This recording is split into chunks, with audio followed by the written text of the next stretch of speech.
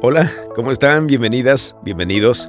Saben que nosotros como locutores, como voice over, como voice actor, como ustedes quieran llamarle, estamos en permanente actualización y eso conlleva de que podamos ser capaces de poder actuar en diferentes escenarios, en un tema comercial, en un tema documental, en un tema narrativo, en un tema de lectura, Hoy en día los podcasts y el audiolibro está dando mucho, por lo menos acá en América Latina, como que recién está entrando con mayor fuerza.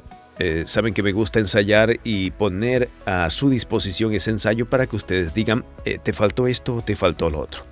Entonces vamos a estar leyendo desde ahora, hay 15 capítulos de este libro y vamos a estarlo leyendo y la idea es que haya un feedback, que ustedes en la parte de abajo digan, estamos escuchando en tal lado y qué tal si hubieras dicho de esta forma esto ¿Qué tal si lo, lo hubieras dicho de esta forma lo de acá?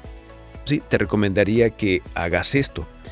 Porque recuerden, esto es ensayo, esto no es una lectura del libro profesional del cual ya están pagándome para, para su desarrollo. No, es ensayo.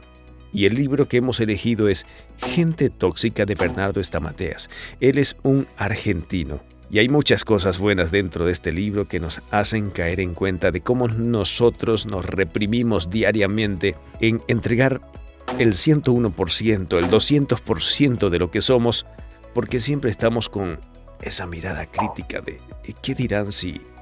¿Qué dirán si? Y eso, por experiencia propia les digo, nos vuelve incapacitados de poder desarrollarnos en la vida.